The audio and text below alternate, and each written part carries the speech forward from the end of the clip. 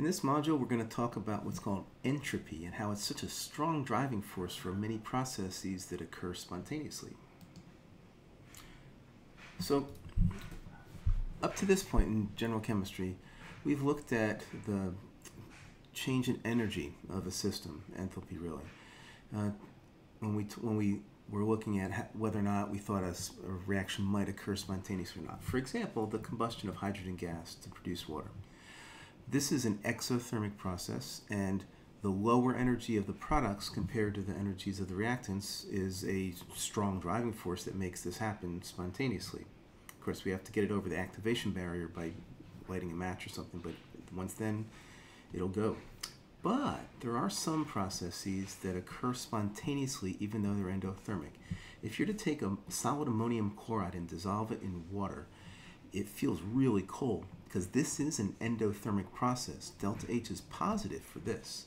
And so that means the energies, the enthalpies of the products are higher than the enthalpy of the reactant. So something else must be driving this. And that other thing is called entropy. Its symbol is S. So entropy, um, what it is, it's, it's related to the number of available states that a system has. Some people call it disorder or randomness, but that's not really accurate. There are two, two types of entropy we're going to deal with, positional and energetic, and they're definitely related to each other. In positional entropy, we're talking about different ways of arranging the, the parts of a system. So if we consider an ideal gas and a, a a glass container that has two bulbs and a stopcock that separates them. and you know we have it closed. We have all the gas over here. Then we open it. Okay. Now these gas particles can pass back and forth, and you, you know what's going to happen? They're going to just keep moving back and forth until on average they have the same number on each side. Why is that? What's driving that? Entropy. There's a lot more available states with about the same number of molecules on each side than there is with, for example, all the molecules on one side.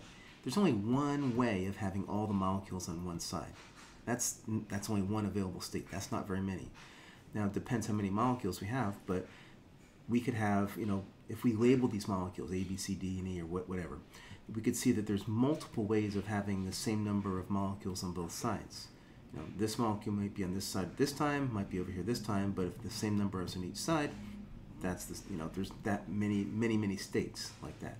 So this is much more likely than this. And so that's what we see.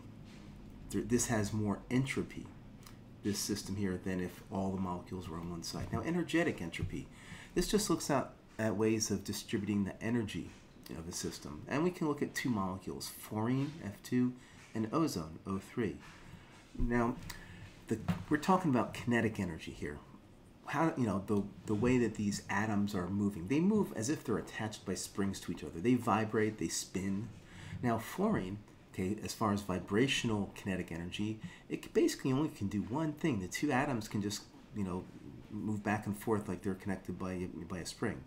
But ozone, where there's three atoms here, it has all these different modes of vibration here. You, you can kind of look at those and see what they are. There's more energetic entropy here than there is here. In terms of spin, fluorine can spin, you know, around each of the, the three axes, and so can, can the ozone.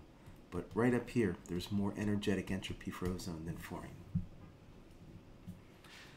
So let's look a little bit more at positional entropy how can we distribute these molecules? So we're going to start out by talking about this, you know, two-bulbed glass container, and we're going to have four molecules, A, B, C, and D.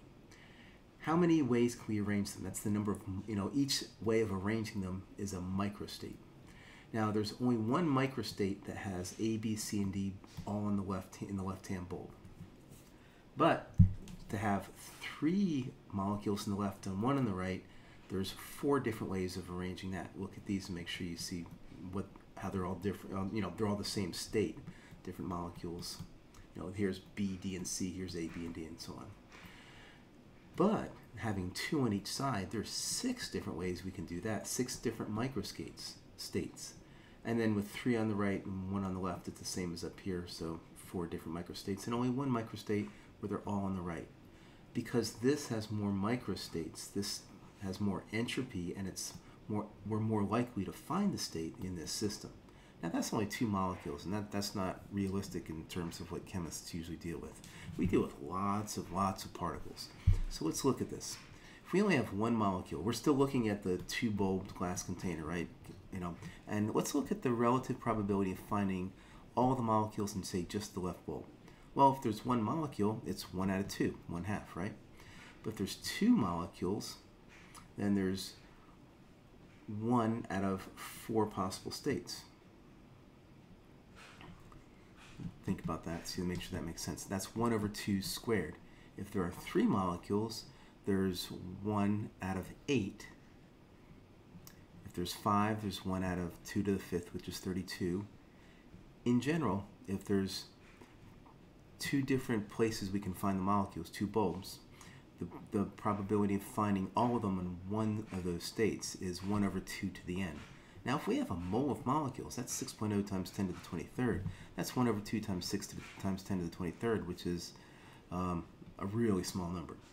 So it's highly, highly unlikely that we'll, we'll find all the molecules just in one bulb.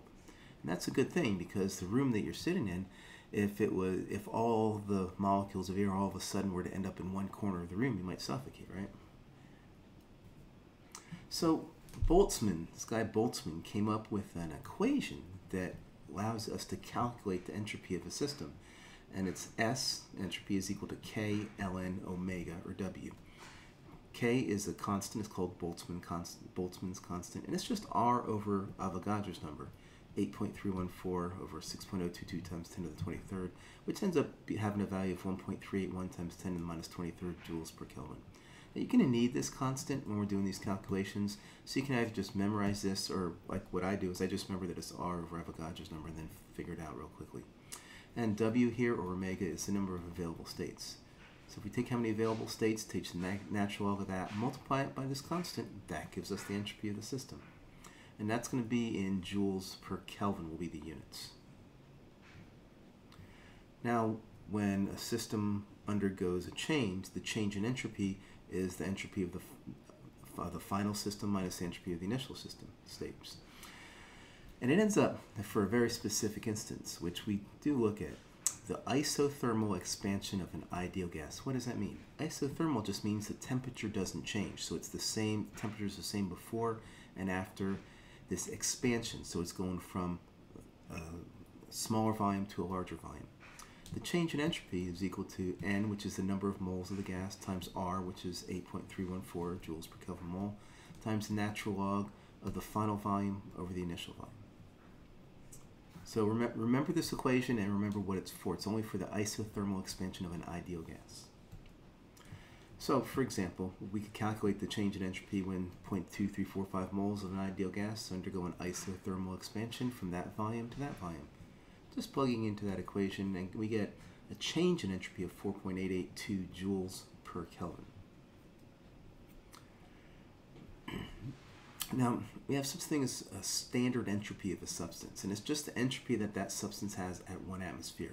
Now, the definition doesn't say anything about temperature, and it's different at different temperatures, so it has to be specified. Um, when you look up standard entropies in any table, it's going to tell you at what temperature, usually like 25 Celsius or something. These are at 25 Celsius. And if you look at these a little bit, if we compare liquid water to gaseous water, gaseous water has more entropy than liquid water. That's because when it's a gas, it has more freedom to move around. There's more available states. It's not as constrained. Same thing, sodium solid going to sodium liquid and then going to a gas. There's a huge jump from liquid to gas in terms of entropy. Right, so the change in entropy for a reaction, okay, for our generic AA plus BB goes to CC plus DD It's just the coefficient for each product times its standard entropy minus the coefficient for each reactant times their standard entropies. So for example, that dissolving of the ammonium chloride we see that if we look if you look up the standard entropies of solid ammonium chloride, aqueous ammonium, and aqueous chloride, and by the way, when you're looking these up, you look them up in tables, the state, aqueous, solid, liquid, have you, is, is definitely really important. So you look them up. Ammonium, I think, is 112.8. Chloride, all both aqueous are 56.5, and solid ammonium chloride is 94.56. And we see that the change in entropy for this process is positive, 74.7 joules per Kelvin mole. There's more entropy afterwards than there was before. And that is the driving force that makes this happen spontaneously.